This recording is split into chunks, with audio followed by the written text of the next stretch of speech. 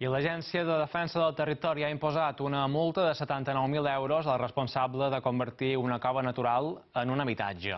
Va posar una porta a l'entrada amb una teulada petita. A l'interior la va enrajolar i va instal·lar cablejat. Al mes d'octubre, el Consell de Direcció de l'Agència ja va ordenar que la restituís al seu estat natural i avui ha aprovat per unanimitat aquesta multa.